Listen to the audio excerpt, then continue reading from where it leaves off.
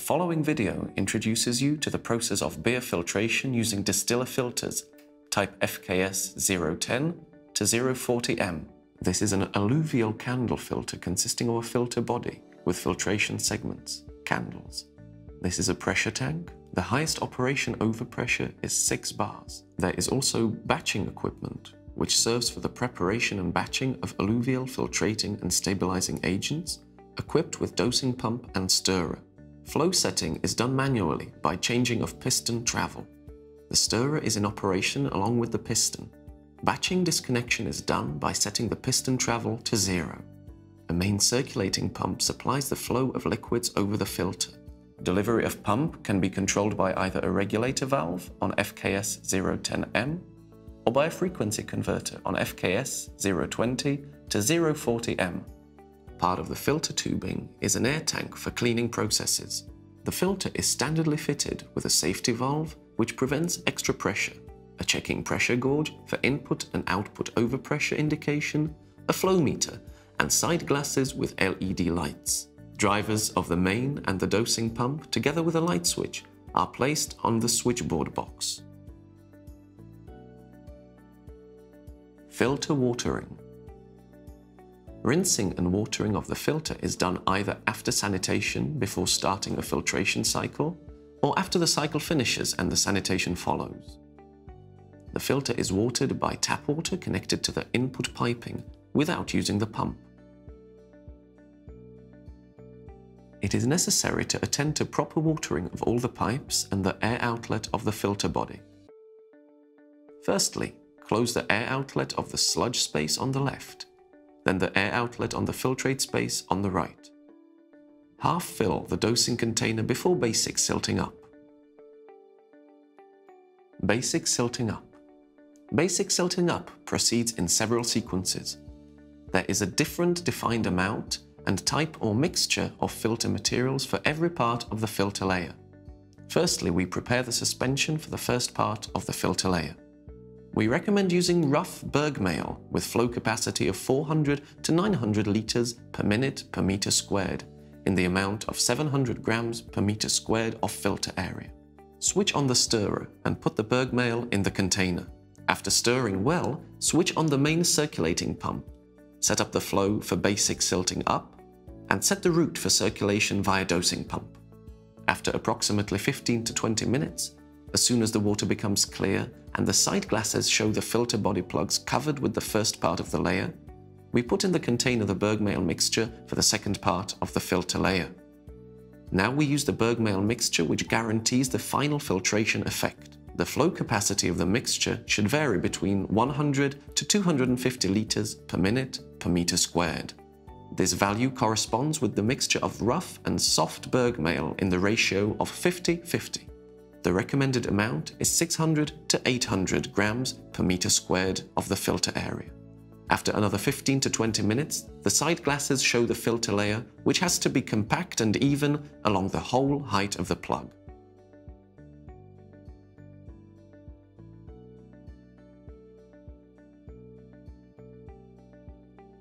Layer finalization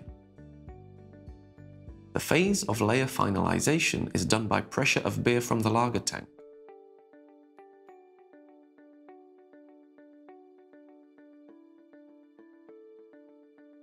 We keep the tank pressure on the same level during the whole filtration period by adding technological gas. We continuously fill the feed pipes with beer.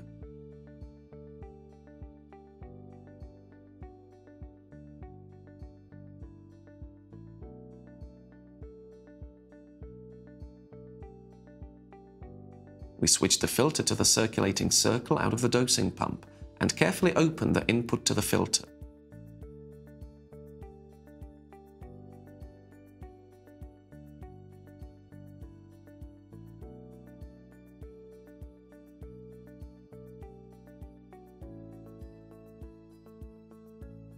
Manometers show the pressure level according to the lager tank.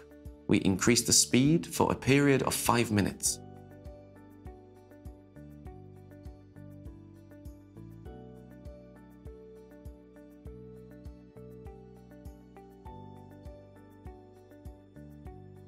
After this time, we slowly decrease the flow to the filtration speed.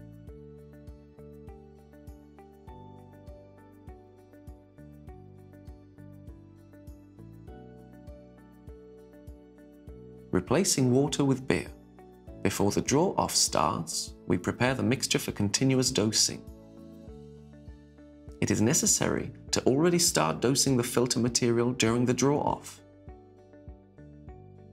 We use the same or softer mixture as used during the second part of the basic silting up. Water from the filter first goes to the sewer.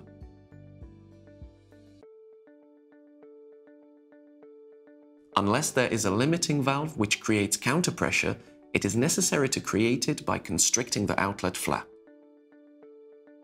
We keep constant flow through the filter and the pressure behind the filter.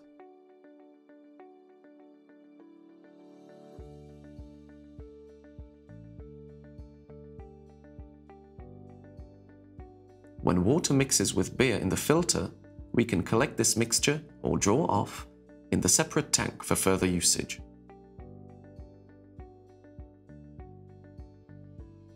Filtration. When there is clear, full-valued beer coming out of the filter, we switch the route into the transfer tank. We pay particular attention to constant flow during filtration, and we revise it according to the rising differential pressure. The differential pressure increases during filtration due to rising resistance of the filter layer. We try to optimize the increase value by choosing the filter mixture and amount. The optimal value is approximately 0.5 bar per hour. We can keep track of the filtrate quality during filtration by observing the outlet side glass with LED lights, or we can take a sample through the sample valve. A successful filtration depends on the correct choice and quality of the filter materials.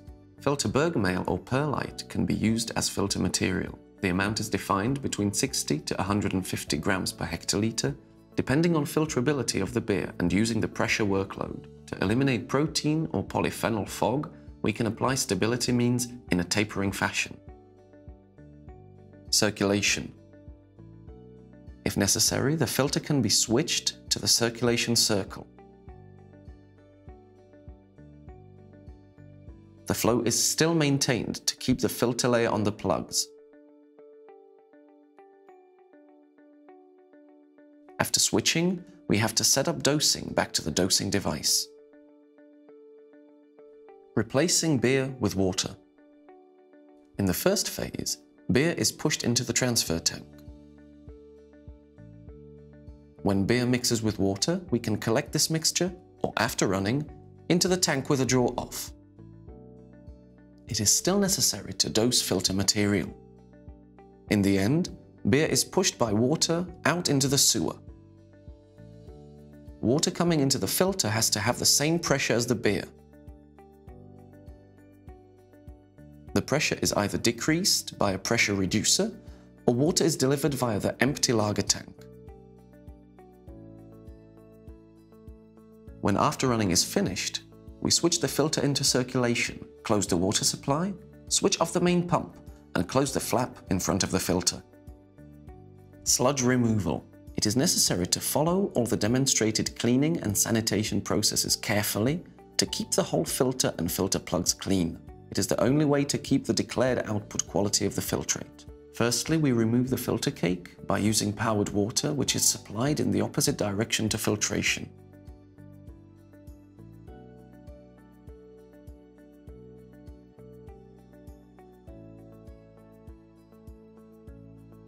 We repeat the procedure four or five times until the filter cake goes down.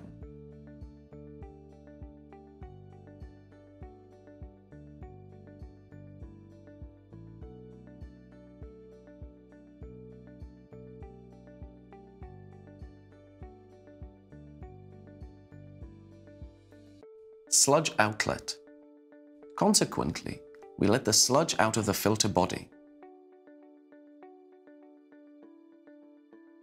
open the air outlet piping of the filtrate area, which draws air. It helps to release sediments into the filter plug slots. We also let out the residual contents of the dosing device container.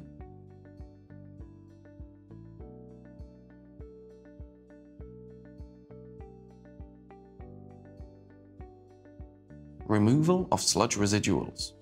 For the following phase, we connect air with a pressure of 6 bars and cold water with a pressure of 3 to 4 bars to the filter.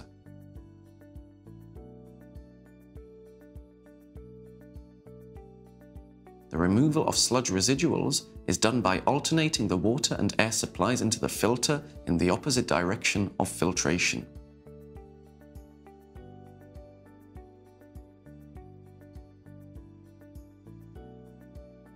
Sufficient supplies of powered air are secured by an integrated container. We leave the air outlet pipes of the sludge area open during the removal of sludge residuals. We repeat the procedure four or five times.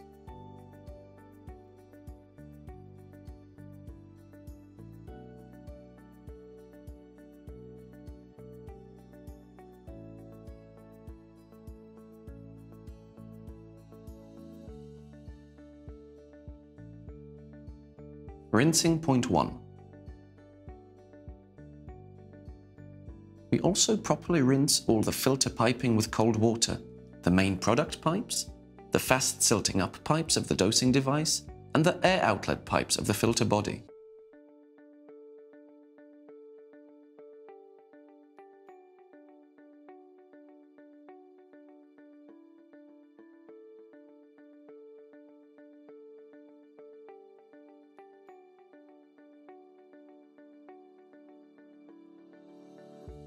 We focus on rinsing the dosing pump and dosing pipes, where it is crucial to leave no leftovers of filter material.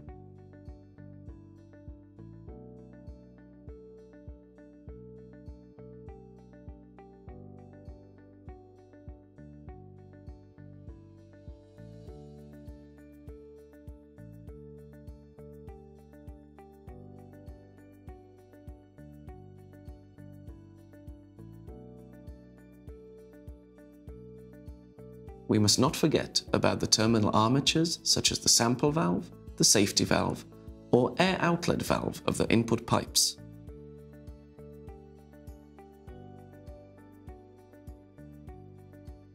Rinsing point 2. In this phase, it is necessary to start watering the filter body up to the plug's support plate after letting air out of the sludge area.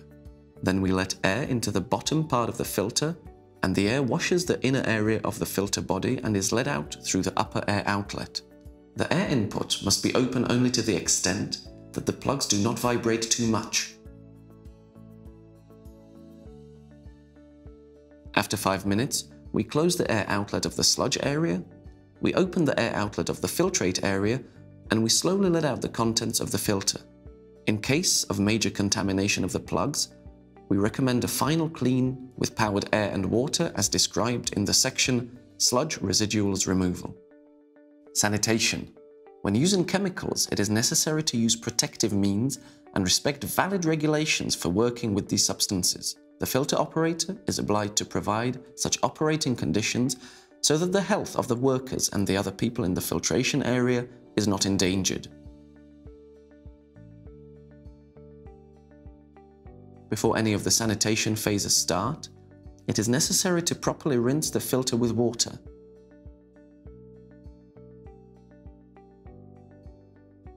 It is possible to sanitize the filter using an independent CIP station or prepare the sanitation solution directly in the dosing device.